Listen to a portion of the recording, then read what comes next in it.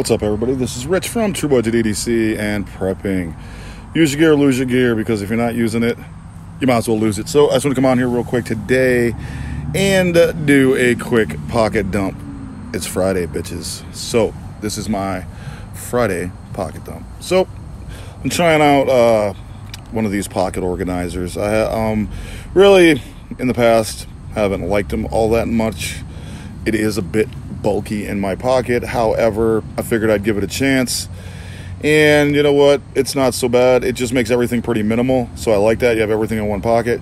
It's really for me only for like slip joints like SAKs or something like that. But I just got this the other day, so I'm testing out. This is the Diodrio uh, compact pocket organizer, and in it today I have the uh, Super Tinker, the Desert Warrior by Blade HQ. I also have another SAK. This is the Excelsior. Um, put one of these uh, Rite in the Rains in the back. As much as I hate Rite in the Rains shipping practices, it's really the only thing that fits in the back of these things. So um, these OTGs are really good. Um, you get these on Amazon, there's free shipping as long as you have Prime, so that totally gets around the shitty shipping practices of Rite in the Rain. Um, and I also have an O'Pen Mini in there as well. So that is what I got in this uh, Diodrio pocket organizer. Um, I'm going to do a review of this and then I'm basically going to mink oil this because that's usually what I would do with leather. So it's going to be darker, but I wanted to leave it as I got it uh, until I do the uh, review. This is chestnut and I will go over this shortly, probably in the next few days. And the light I have is the Wuben XO. Um, so this was sent to me by Wuben to review. This is the XO Brass.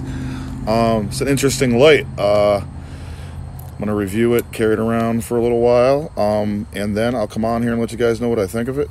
It is solid, solid brass, man. It's heavy. Seriously, it is.